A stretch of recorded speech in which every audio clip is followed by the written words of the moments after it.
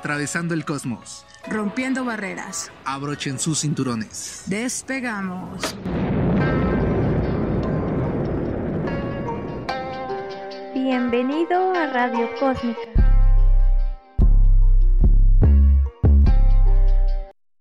Hey, ¿qué tal? Bienvenidos a Radio Cósmica. Como siempre, yo soy Alex Azul y es un placer estar con ustedes el día de hoy en este hermoso programa, primer programa de esta cuarta temporada. Por ahí nos andaban diciendo, nos andaban preguntando, oye, que ya se acabó Radio Cósmica. No, la verdad es que simplemente quisimos darle un cortón a esta onda SAT, porque ya veníamos muy tristes, ya veníamos muy, muy bajitos en el ánimo.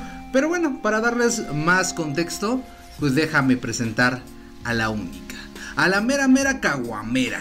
Ella es la mejor amiga que tengo y el extraterrestre más increíble. Su nombre es... La carnal, ¿cómo estás? Soy la beca, carnal. ¿Qué pasó, amiguitos? ¿Cómo están?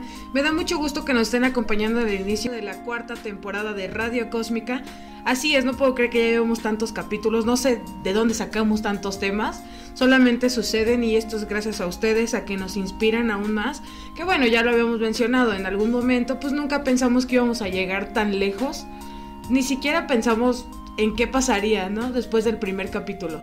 Exactamente, no, no, teníamos una expectativa, ¿no? Ya lo habíamos mencionado en algún capítulo, pero mira, también sabes que hay algo muy interesante. Hemos crecido tanto en estos últimos meses que tuvimos nuestro primer concurso, donde la banda estuvo participando, estuvieron llegando ya mensajitos después. Como que la banda no estaba como tan enterada de que iba a hacer un live después del programa del miércoles de la semana pasada. Pero por ahí alguien se puso trucha y la ganadora fue Jazz Martes, Yasmín que pues no bueno. Se llevó la playera única en su estilo que jamás se va a volver a imprimir de Planeta B97 y Azul. Muchas felicidades para ti, Jazz. Espero que estés disfrutando esta playera desde la comodidad de tu hogar y claro, que nos estés escuchando como todos los miércoles lo has hecho en Buena Nota Radio, todos los miércoles a las 10 de la noche y los sábados con retransmisión a las 2 de la tarde. Sí, la neta sí, felicidades Jazz, gracias por participar, gracias a todos los que nos mandaron mensaje y a los que estuvieron ahí intentando como participar. Pues bueno, ya les ganaron, pero eh, no se preocupen, en algún momento vamos a hacer más. Y pues, sin más preámbulos, amigo, también quería felicitarte porque ya abriste tu, tu mini negocio de playeras, donde pues ya están las playeras con frases especiales de Radio Cósmica, que es una colaboración de Yazul con Planeta B97 ya saben que son dos colecciones, las del barrio pues van a estar en Planeta B97 y la de las pasivas va a estar en Yazul. Así que corran a darle un like. Ahí por si no tienen a Yazul en Instagram, ahí lo pueden seguir, es donde está más activo. Y pues a Planeta B97 ya saben que por Facebook, por ahí van a estar subiendo las playeras. Espero que les gusten, está muy buena la calidad. Yo ya tengo la mía, amigo, porque pues staff. Exactamente, como somos un buen equipo, pues necesitábamos nuestras playeras oficiales. Y si tú quieres tu playera oficial de Planeta B97, pues nada, lánzate a Yazul en Instagram o lánzate a Planeta B97 y encárgalas. Te las mandamos hasta la puerta de tu casa y pues las playeritas están increíbles, ¿no? Y sabes también que está increíble los demás programas de Buena Nota Radio, que les mandamos un saludo a Héctor Vázquez Chutas, un saludo también a Daniel Romano y obviamente pues ¿A quién más? Al único que podría hacer que Buena Nota Radio siguiera funcionando. Él es Frank, hermano, un saludo y muchas gracias, muchas gracias por todo el apoyo que nos estás brindando. La verdad es que sin ti este programa no estaría llegando tan lejos y tampoco hubiera brincado el charco porque déjame decirte que quiero mandar un saludo hasta España y Alemania a nuestros grandes fans desde allá, un saludo y un abrazo y bueno si ya estamos hablando de saludos y abrazos también por qué no a todos nuestros fans de Colombia, de Argentina y obviamente a todos los que nos escuchan aquí en México. Pero pues gracias por todo el apoyo, porque siguen aquí, porque nos siguen apoyando. Yo pues independientemente de todo les quiero mandar un saludo a algunas personas. Principalmente a nuestro amigo el güero, que el otro día no lo encontramos y nos dijo, oye, mándame un saludo que los voy a escuchar y no sé qué. Un saludo también para Jazz Martes, felicidades nuevamente. Un saludo para Libre para Géminis. Muchas gracias a ustedes dos en particular por seguirnos apoyando y seguir compartiendo esto. Gracias por estar ahí, por ser las fans número uno y ser tan pacientes con nosotros. Y además de que independientemente de las playeras, de todo esto que estamos logrando en Radio Cósmica junto con Buena Nota Radio que nos está apoyando, claro que sí pues yo creo que de ahí se desenvuelven muchas cosas para nosotros, ¿no? Inclusive para ti, no sé, para ti esto lo, esto lo de las playeras y lo mío pues el disco, que no era como un sueño que quería, pero pues básicamente se está creando y es como de, ¿qué está pasando? Y es que afortunadamente o desafortunadamente hay pocas personas en el mundo que pueden lograr alcanzar su sueño. Y muchos me preguntan o muchos se preguntan, después de lograr mi sueño de tocar la cúspide, de llegar al punto más álgido de mi carrera o de lo que yo quiero, llega la pregunta. ¿Lo celebras? ¿Lo disfrutas? ¿Lo tienes? ¿Lo apasionas? ¿Luchaste tantos años, tanto tiempo por tener y cumplir tu sueño? Y al final del día solo queda una pregunta por hacer. ¿Y ahora qué? Hay una escena en una película de Pixar que salió el año pasado, se llama Soul. Eh, en esta película hay una parte muy importante que yo creo que todas las personas que han alcanzado su sueño han tenido como este choque con la realidad, ¿no? En la escena marca, si no la has visto, te, la voy, a dar un spoiler. Eh, pues el protagonista llega a cumplir su sueño, llega a tocar en esta banda de jazz tan importante que era para él. Y de repente termina la función, queda afuera del local, se queda con la vocalista del cuarteto de jazz y de repente le dice, bueno, ¿y ahora? Y le dice, pues tienes que repetirlo, tienes que seguir la rutina, porque ya alcanzaste tu sueño y ahora tienes que seguir trabajando en él. Y yo creo que es una parte muy complicada, porque la verdad tienes una motivación para hacer tu sueño. Pero llega un punto muy interesante, cuando esa motivación se muere. Y aparte que este batillo estaba como aferrado. Yo quiero ser músico, yo quiero ser músico y su mamá le decía que no, bro tú tienes que hacer otras cosas, tú naciste para ser maestro, para ser educador y no, que no sé qué. Total que este vato está tan aferrado en su sueño que hace hasta lo imposible. De verdad se la recomiendo mucho porque es una, es una película que te llega, te toca al fondo y sí dices, bro, es más, me gustó más esa que la de Coco, la de Coco no me gusta. No tiene nada que ver con la realidad. Tan locos, bye. No me gusta. En lo particular a mí no me gusta este Coco. Me hizo llorar como una marica. Y no me gusta llorar con las películas porque pues a Marta Duele es la única película que se ha llevado con esto. Así es amigos, me vale que vayamos en la cuarta temporada, desde la primera estamos hablando de Marta Duele y aquí seguimos, porque somos los mismos, con diferentes temas, con diferentes pensamientos probablemente, pero con las mismas emociones. Seguimos siendo Beca y Azul hablándoles de la vida. Y bueno, sí, para continuar, les estaba contando que pues se aferra tanto a su sueño que cuando lo logra, sale y le dice de que, carnal, ¿y ahora qué sigue? Y esta morra le dijo, pues lo sigues haciendo. Y ya. Y es cuando, no sé, te llega como el, choque emocional. O no sé, bueno, a ti que ya cumpliste tu sueño, bueno, estás como en, en, proceso de crecer más y más y más y con los otros sueños que has tenido del teatro. ¿Tú cómo piensas que es este impacto? O sea, si te pones en el lugar del protagonista de Sol, ¿cómo lo ves tú? Pues mira, Qué bueno que tocas el punto. Los que ya han seguido mi trayectoria saben que yo comencé a actuar en un teatro allá en Coyoacán, allá en Puerto Carrillo. No sé si sigue abierto. Un saludo a todos los que están por allá. Este, sí, llegó un punto en el que yo quería ser actor profesional, ¿no? Que la diferencia entre ser un artista y un artista profesional, pues es eh, la gratificación económica, ¿no? Entonces tenía el sueño que me pagaran, porque para mí el teatro es jugar, digo, lo tomo con toda la seriedad que necesita el teatro, porque el teatro, y como todas las artes, necesita tomarlo en serio, es disciplina, es trabajo, es siempre estar constante ahí, pero cuando lo logras y te empiezan a pagar, yo quería vivir del sueño. Yo quería ganar los miles y millones, ¿no? En el teatro. Y la verdad es que recuerdo mucho ese domingo. Fue mi primera función, fue en el Capitán Garfio me tocó hacer la del señor Smith. O sea, yo estaba más alto que Capitán Garfio y era el señor Smith, ¿no? Y aparte estaba más delgado que el Capitán Garfio. No, pues está cañón, ¿no? Sin embargo, yo estaba feliz, feliz porque había gente. y fueron varias personas a ver la función. La verdad es que yo salí fascinado porque lo había logrado, ¿no? En ese momento recuerdo que termina la función, se apagan las luces, subo a mi camerino porque también tenía un camerino y déjame decirte que mi camerino era un huevito donde tenía mi banco era un bote de basura que volteábamos para que yo me pudiera maquillar y un espejo, no te digo un espejo enorme con focos, no, no, no, no, no, tenía un foquito de esos LEDs y aparte de un espejito de yo creo de, de 15 por 15, ¿no? Para poderme maquillar. Yo estaba fascinadísimo porque estaba cumpliendo mi sueño. Sin embargo, termina la función, me dan mi dinero, salgo por el teatro, empiezo a caminar hacia, hacia hacia el centro de Coyoacán básicamente, y me quedé pensando en, en esta pregunta. ¿Y ahora qué sigue? Y hay dos opciones, ¿no? O sea, te puedes aferrar a tu sueño, puedes seguir persiguiendo tu sueño y seguir trabajando en él, que sería lo óptimo, porque al final del día, pues estás cumpliendo tu sueño, lo estás disfrutando, es lo que tú quieres hacer.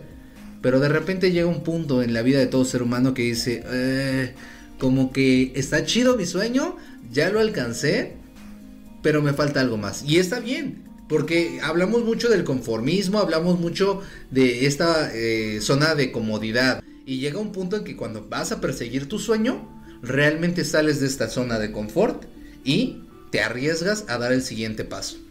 Sí, sobre todo si no tienes el apoyo. Yo siento que también cuando no te apoyan, sí te bajonea bien cañón. Porque te están diciendo como que, ¿cómo vas a ser artista? De eso no vas a vivir, ¿no? O sea, hay que ser realistas y pues aquí en México, pues la artistiada no, no la pega mucho. La verdad es que el gobierno de México, bueno, pues sí, de México no, como que no le, no le da tirada para allá. Ya que si tú te vas a otros países, como Italia, por ejemplo, que el arte es como lo más importante, pues obviamente vas a pegar machín. Pero pues es cuestión de, de, que pues estamos aquí cumpliendo un sueño. Yo creo que por eso nos tocó vivir aquí en México. Porque en algún momento en nuestra otra vida tal vez éramos personas que no queríamos ningún sueño. Que nos conformábamos con tan poquito. Y pues por eso dijeron como de que, ah, sí, pues te voy a poner a que le luches para que veas lo que cuesta. Porque sí, sí cuesta mucho pero al final de cuentas es para ti y es por ti solamente. Las demás personas, las que te acompañan y te apoyan, te levantan, qué chido, se agradece. Pero las personas que no te apoyan, que te tiran pues de a loco, que no tienen como esta empatía, que por el contrario te tiran hate, sácalas de tu vida. Está bien recibir una pues una opinión de las personas, pero no quedarte nada más con esa opinión escucharte a ti mismo, escuchar qué es lo que quieres y hacia dónde te quieres dirigir, porque al final de cuentas el que va a fracasar o el que va a triunfar vas a ser tú. Y es que aquí hay un punto muy importante, ¿no? De hecho hay una metáfora que, o más bien una fábula que por ahí escuché, que por ahí me gustó bastante, que dice que van eh, dos personas y va un burrito, ¿no? Suena muy, muy gracioso, pero sí, ¿no? Entonces van los tres caminando y encuentran a gente y la gente dice, oigan, qué tontos son ¿Por qué no se suben al burro? Lo traen nada más de adorno. Y ahí van los dos viejitos y se suben en el burrito, ¿no? Después de eso, eh, encuentran a otra persona y la persona dice, oigan, qué manchados. ¿Por qué los dos se suben en el burro? Entonces se baja el señor. Llega otra persona y le dice, no, pues ya vieron qué señor tan tonto, ¿por qué no se sube él al burro y hace caminar a su mujer? Y hace lo propio el señor, ¿no? Baja la señora, se sube él al burro. Y en resumidas cuentas, bueno, la moraleja de esta historia es que jamás en la vida le vas a dar gusto a las personas. Y es aquí el punto más importante de esta plática, ¿no? Realmente cuando tú cumples tu sueño, debes de entender que cuando das el salto hacia afuera de la zona de confort, estás por tu cuenta. Y cuando estás por tu cuenta, te tienes que valer de todos los recursos que tú tienes a tu mano para poder salir adelante. Sin embargo, habrá gente que te apoya, habrá gente que va a estar en el proceso y esas personas son las que valen la pena. Pero hay otras personas que se disfrazan de amigos, que te dan críticas constructivas respecto a tu trabajo, sin embargo son más críticas destructivas y más pues envidia realmente, ¿no? Porque seamos honestos, a, uno, a una persona, a una gente, no le gusta que el de al lado triunfe, ¿no? Sí, siempre es como de yo soy más, ¿no? Como que tú puedes, sí, pero yo puedo más, yo sé hacerlo mejor. Yo hice esto, tú tienes este juguete, pues yo tengo otro. O sea, como que para todo quieren seguir. Amigos, esas personas son garrapatas energéticas. Si los ubican, que son súper fáciles de ubicar, ábranlos. O sea, neta, aléjenlos de su vida porque son las personas más tóxicas que van a encontrar. Que porque te pueden estar hablando de frente y te pueden estar diciendo, no, sí, qué chido. Y por acá, como de que, ah, pero yo le voy a bajar esto. Pero yo Es como el típico chapulín, ¿no? Que está entre amigos, que sabes que pues sabe que, andas con alguien y, por acá abajo, por abajito del agua, le anda tirando el perro a tu novia, ¿no? A tu novio. Es como típico chapulín. Saludos a mis amigos chapulines, por cierto. Yo sé que no lo van a escuchar, no me importa. De todos modos, saludos. Y saludos a todos los chapulines que andan por ahí. Continuamos con Radio Cósmica.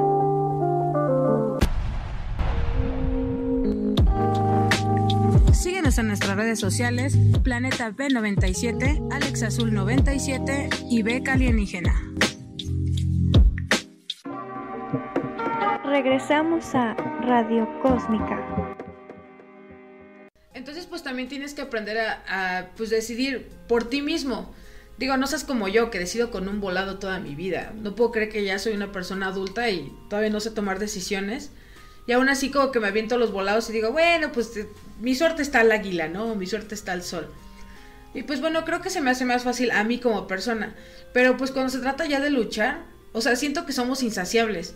Porque hacemos lo que queremos en el momento que queremos tal vez o a destiempo, como lo quieran ver o como sea su posibilidad y de todos modos, no nos llenamos.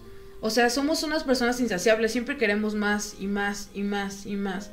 Porque de eso se trata la, película, ¿no? De, de Soul volviendo. Que, o sea, este vato en realidad, pues nada más necesitaba ser feliz. O sea, ese, era su sueño, o bueno, a lo que él se aferraba. Cuando pues en realidad, o o sea, eres increíble en eso. Pero pues a lo mejor tu sueño es vivir la vida, disfrutarla, ser feliz. Es lo único que tenemos, es el único tiempo que vamos a tener aquí siendo las personas que somos.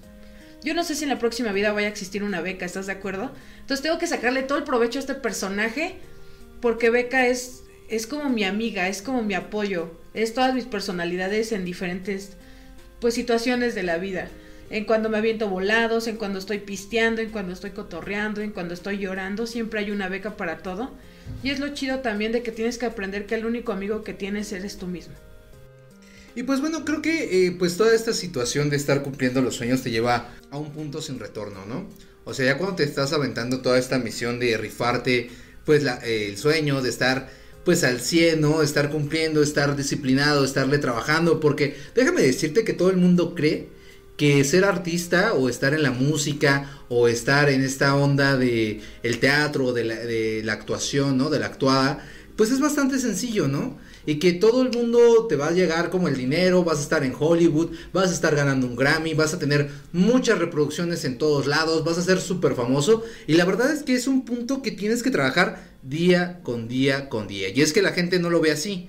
Cree que la artisteada es simplemente hago una tontería en, en TikTok, hago una tontería en Facebook y ¡pum! Me vuelvo viral y me vuelvo famoso y se acabó. A muchos les ha funcionado, pero tienen algo detrás de ellos que se llama poder y dinero.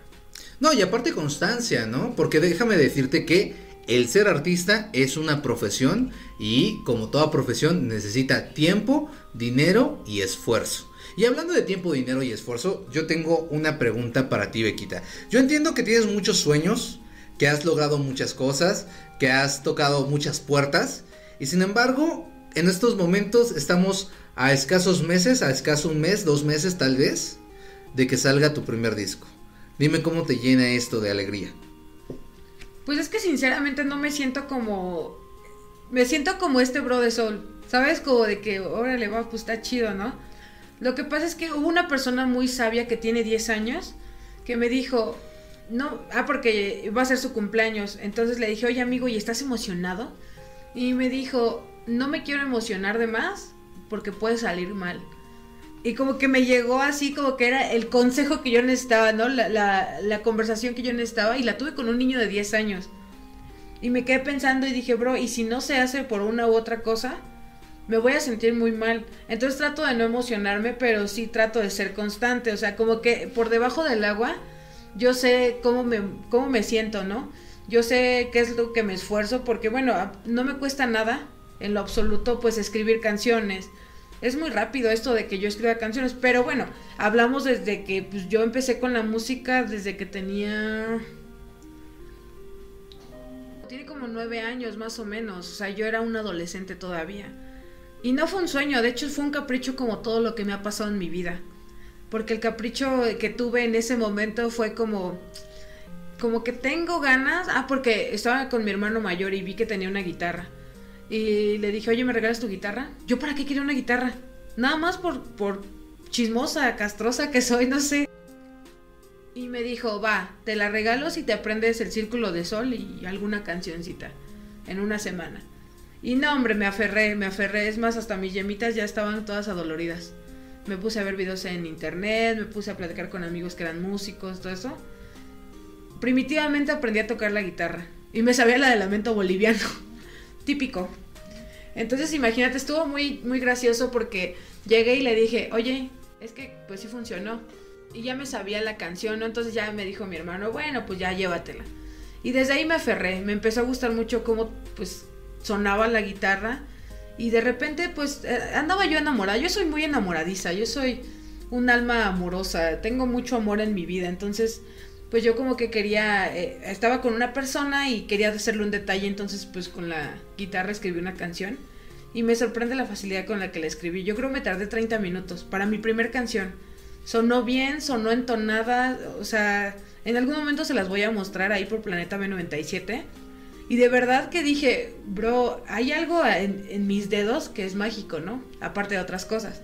Pero dije, bro, hay algo que, tal vez no muchas personas tienen. Y lo tengo que aprovechar. Y seguía escribiendo canciones con la guitarra y seguía yo haciendo estas cosas y todo. Pero realmente lo que empezó con estos, estos beats es como tranquila. O sea, tiene diversos temas, pero es muy tranquila. Entonces desde que empezó eso fue con una canción que se llama Expectativas, que ya la estarán escuchando ustedes en el disco. Y no sé, como que desde que empecé a escribir ya con beats, me fluyó tan bien. Porque dije, bro, cuando tienes talento y lo sabes hacer bien, se te sale. O sea, no necesitas estar estudiando ni nada, ¿no? Pero pues sí, eh, me gustaría mucho aprender a tocar el violín, el saxofón, el piano también lo sé tocar. O sea, soy, soy una cosa escondida, pero nadie cree eso. Yo siempre lo tomo como hobby porque siempre he creído que ya cuando empiezo a ganar dinero de lo que quiero hacer, yo pienso que ya me va, me va a pesar hacerlo. Ya no lo voy a hacer por tanta pasión. Ese es mi pensamiento, ¿no? Digo, quién sabe qué pase más adelante. Pero pues sí, ahorita que ya, ya estamos como en esto, yo creo que hasta que yo tenga el disco en mis manos, ya me voy a hacer esa pregunta. ¿Y ahora qué sigue? Voy a grabar más discos, alguien me escuchó, alguien importante, ¿no? Alguien que, que le gustó mi voz, le gustó mis temas, le gustó mi vibra. ¿Qué sigue? Pero pues hasta ahorita no te puedo responder esa pregunta. Y es que claro, siempre hay que... Eh, nosotros siempre... Y es que claro, nosotros siempre hablamos del lado positivo, porque ya este mundo está lleno de tristeza, de amargura, de coraje, de pleito. Y nosotros queremos venirte a aprender esa velita, esa esperanza, esa chispa, esa luz al final del túnel, ¿no? Sin embargo, hay que ser conscientes de que hay momentos en la vida que tú intentas ese sueño, quieres cumplirlo, tienes toda la actitud, tienes toda la perseverancia, todas las ganas del mundo, sin embargo, el sueño no se cumple. Y aquí también entra la pregunta, ¿y ahora qué sigue? Porque también debemos reconocer cuando nuestras aptitudes y nuestras actitudes no nos dan el 100% para poder conseguir nuestro sueño. Porque está bien, es que bueno que te guste pintar, qué bueno que te guste cantar, pero oye, si tu registro vocal no te da más tonos, si tu técnica de, de pincelado o tu técnica de pintura no te da para más, oye, está chido que sea tu sueño, está bien, pero la verdad es que puedes buscar un talento.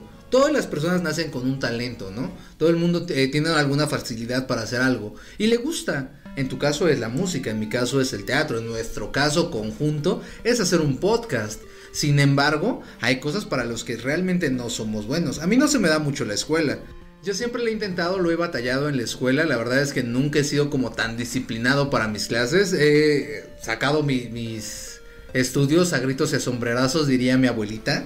Sin embargo, no se me da la escuela. Y hay puntos en, la vida en donde dices, oye, quiero agarrar una ingeniería química, en donde yo quiero ver química porque soy bueno para la química. Y llegas a la ingeniería y papá, te topas con un muro de frente y química orgánica te saca de la escuela. Porque no es lo mismo estar viendo química en una vocacional, en, un medio superior, en una eh, secundaria, ¿no? En todo caso sería como en... Si, si nos escuchan en Estados Unidos, pues sería como en... High school. Como en la high school, ¿no? En esta onda. Este, pues no es lo mismo, ¿no? Que dedicarte ya de lleno a estar estudiando química. Y llega un punto en, el en tu vida donde tienes que aceptar que aunque te apasiona la química, no eres bueno para ella. Y ahí viene un punto, un choque de realidad donde las personas se tienden a romper bastante feo. Y pues claro, es como en este punto en donde tú estás luchando contra el señor Hyde mientras tú eres el doctor Jekyll, ¿no? En este pues libro de la cultura popular donde pues el doctor se tomaba una poción y se transformaba en un monstruo. Eso realmente pasa. Es una analogía bastante interesante en donde habla de tu yo interno contra lo que estás proyectando y el enfrentamiento que tienen estos dos para crear a una persona que pues realmente eres tú, ¿no? Es donde tienes que aceptar que hay cosas que no puedes cambiar, que hay cosas que a pesar de tus esfuerzos, de tus ganas, de tus ganas de seguir adelante, de crecer, de sobresalir, no las vas a alcanzar y está bien. No tienes por qué presionarte. Realmente hay una regla que estoy siguiendo en estos momentos que se llama la regla del 70%. ¿Alguna vez habías escuchado hablar de ella? Del pastel. La regla del 70% dice, mira, pongamos un ejemplo, tú dibujas diario y te, gusta dibujar, ¿no? Y lo haces bien. O sea, realmente tienes dibujos que no valen un 100%, que no tienen un, un 90%, que tal vez llegas a un 40%, pero lo haces con amor y lo haces con ganas, ¿no? Y pues tu mamá, tu papá, por quererte apoyar, te dicen, ¿sabes qué? No te vas a levantar de la silla hasta que me entregues un dibujo del 95% de calificación. Y claro, tus padres te dicen, no te vas a levantar de esta silla hasta que me entregues un dibujo del 95%. Entonces tú vas a empezar a trabajar y hacer dibujos y vas a llevar el primer dibujo y tu mamá te va a decir, bueno, este tiene 80. Vas a hacer el segundo dibujo, bueno, este tiene 90. Vas a hacer el tercer dibujo, este tiene 5. ¿No? Y entonces, como va a ser una presión constante todo el tiempo, realmente le vas a perder el gustito, el gustito al dibujo. Sin embargo, la artisteada y en todo lo que haces, las obras de arte o este punto sobresaliente no es un trabajo constante, sino son muchos trabajitos que en uno de esos sobresales. ¿Qué pasa si te dejas de exigir tanto? ¿Qué pasa si dejas de, querer esa excelencia? Oye, está bien que quieras ser el número uno. Está muy bien que todo el mundo te diga, es que tienes que ser el mejor, es que tienes que estar hasta arriba, y es que tú tienes que ser el, el mejor del mundo, ¿no? Oye, pero ¿qué pasa si eres el segundo? ¿Qué pasa si eres el tercero? ¿Qué pasa si eres el quinto? Oye, yo estoy cómodo en un quinto lugar. ¿No? Porque sé que lo estoy haciendo bien, sé que estoy dando mi mayor esfuerzo, pero si no me alcanza para llegar a un primer lugar, oye, no me exijo.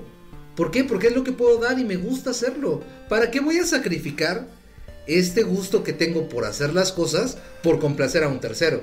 Ahora, si te dejas de exigir tanto y solo te exiges un, un 70%, créeme que va a haber momentos en que sobrepases ese 70% y ni siquiera te des cuenta.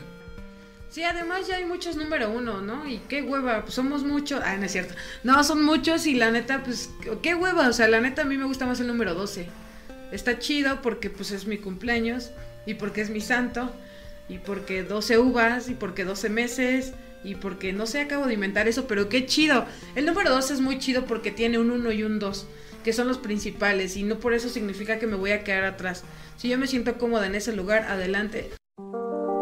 Continuamos con Radio Cósmica.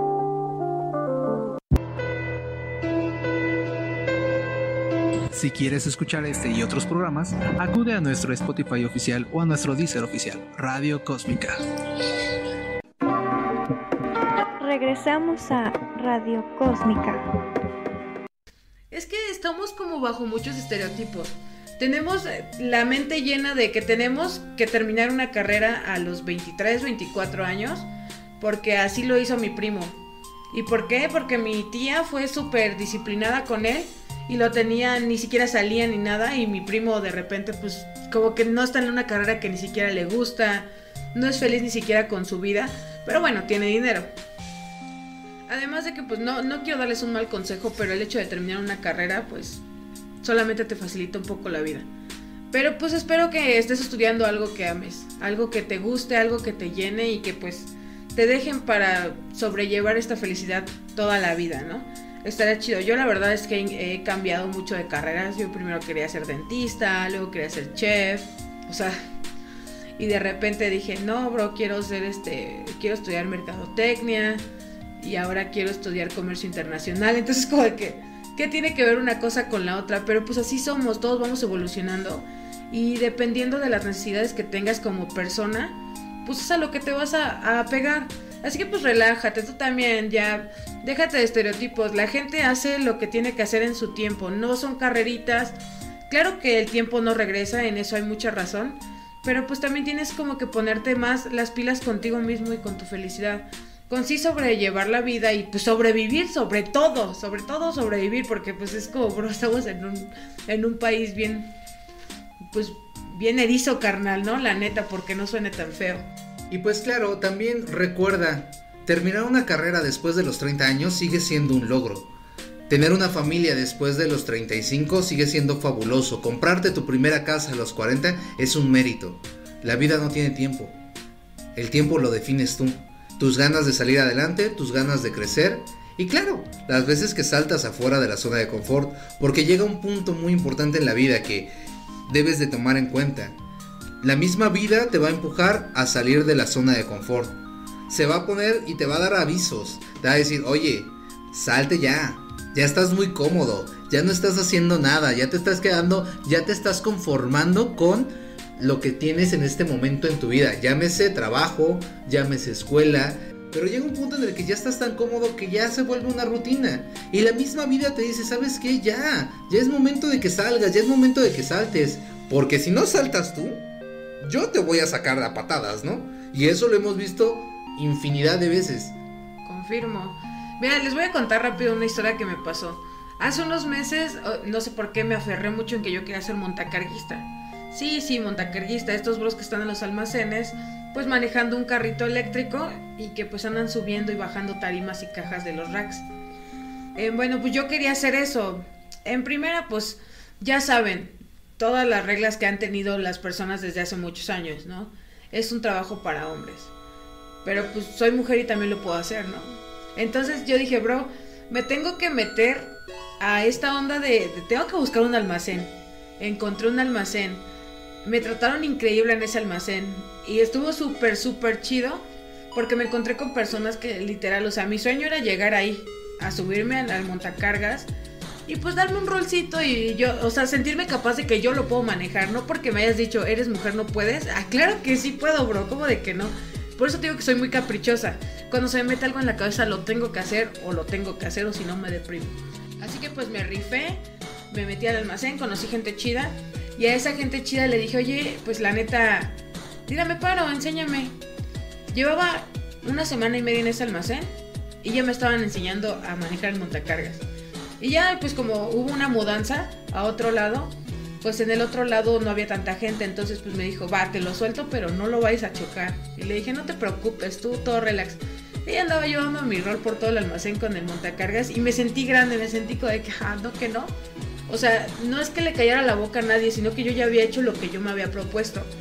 Después de que pasó esto, pues les quiero confesar que así salió el tema de hoy. Hablé con Azul, le conté como esta situación y le dije, bro, pues ya lo logré, ¿y ahora qué? Pasaron dos semanas y me despidieron del trabajo.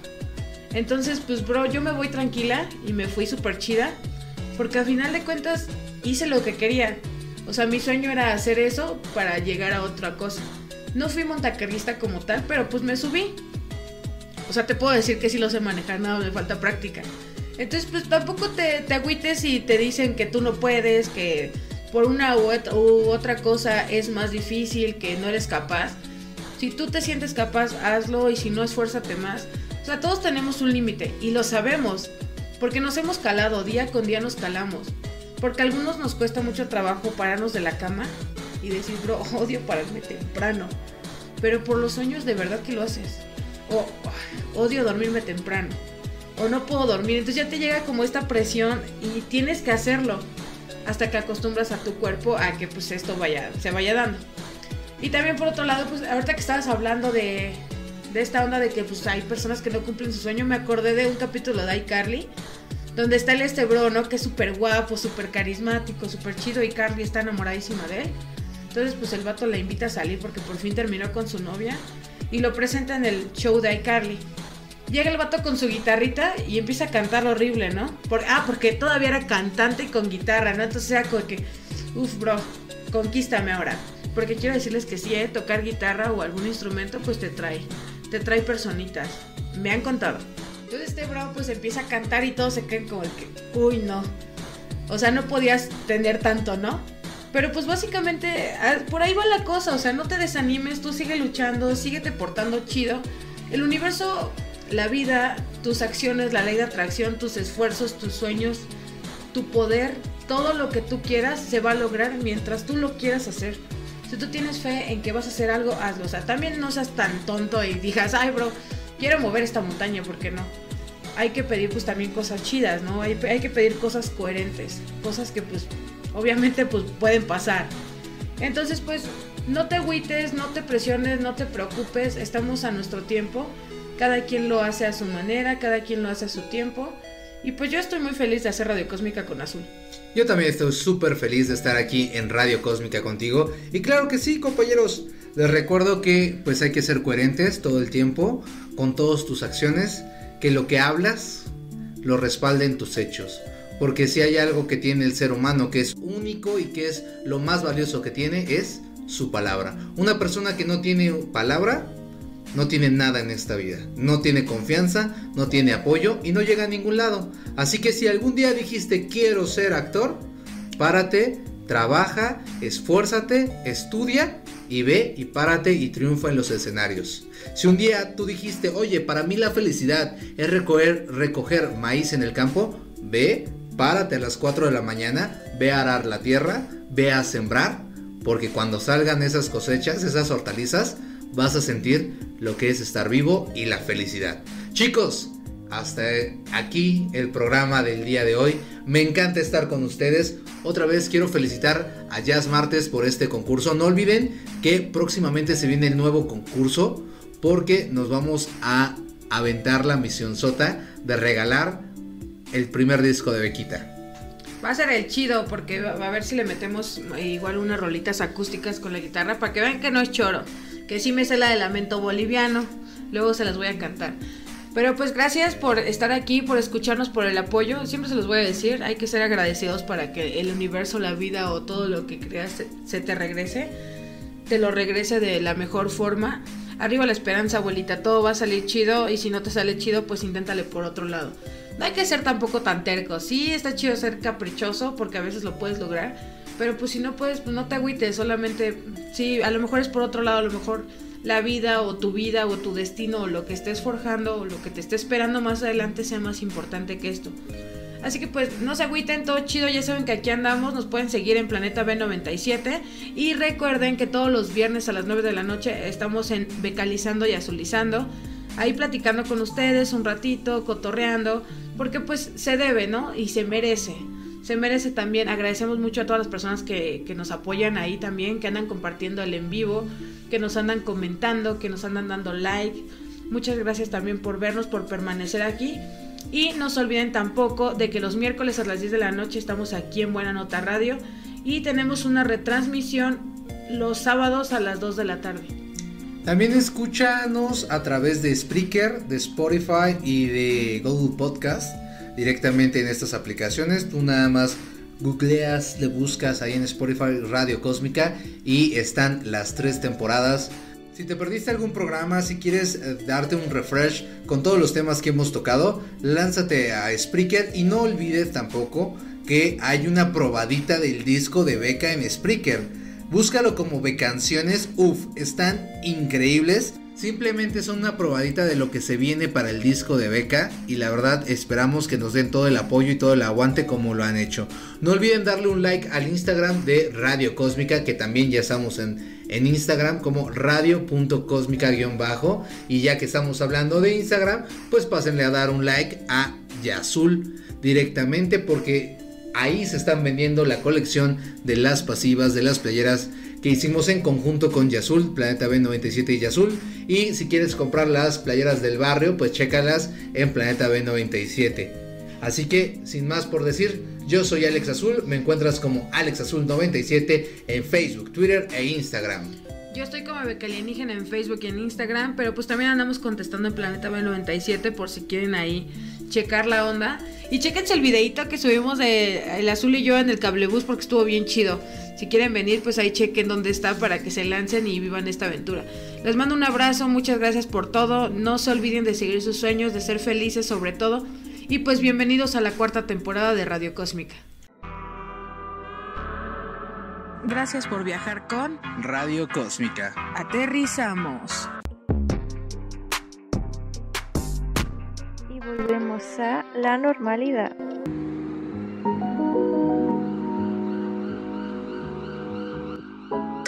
Agradecemos a Yazul y a Buena Nota Radio por patrocinarnos.